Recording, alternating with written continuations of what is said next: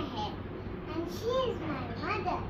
And today we are going to make a special dish which is Kheer. What all ingredients do we need? Oh yes, we need milk, almonds, cashews, soaked rice, some saffron.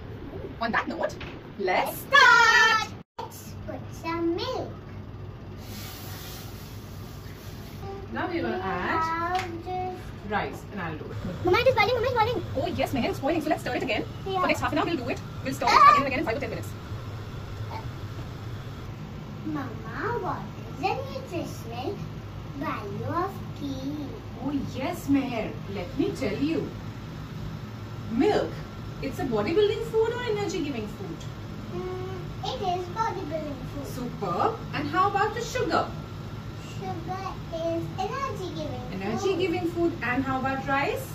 Rice is Rice. Energy giving or bodybuilding? Energy. Energy giving. Superb.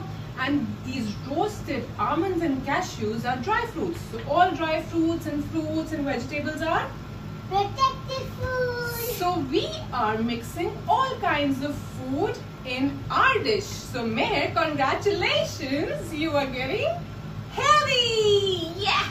Meher, let's add sugar. This much. Yeah. Now our kheer is ready. What we're gonna do, Meher? Decoration. Decorations. So let's start.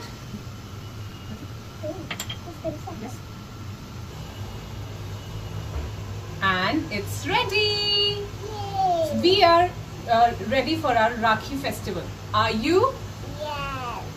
Bye-bye.